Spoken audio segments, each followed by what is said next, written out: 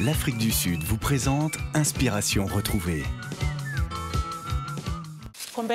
En comparant d'où je viens et où je suis aujourd'hui, j'ai bien progressé, mais il y a encore du chemin. Nsiki a été la première femme vigneronne noire sud-africaine et pourtant rien ne l'a prédestinée à cette profession. Je me souviens du premier jour où j'ai goûté du vin. Mon recruteur a ouvert une bouteille de rouge. Quand j'ai goûté, oh, c'était la chose la plus horrible que j'ai jamais testée. L'industrie du vin est sans doute la plus complexe. Beaucoup de ceux qui tentent d'y venir, souvent, partent en courant. Je dirais aussi que c'est une des industries la plus insatisfaisante financièrement. Mais quand vous devez choisir la direction de votre vie, vous pouvez choisir les aspects négatifs ou positifs. J'ai choisi de me concentrer sur le positif.